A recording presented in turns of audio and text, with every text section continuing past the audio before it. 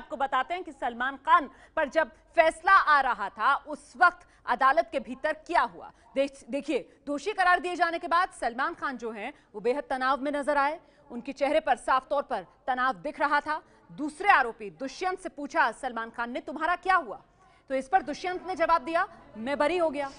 और दुष्यंत का यह जवाब सुनकर सलमान खान हंसे और दुष्यंत से उन्होंने हाथ भी मिलाया। ये है एबीपी न्यूज़। आपको रखे आगे।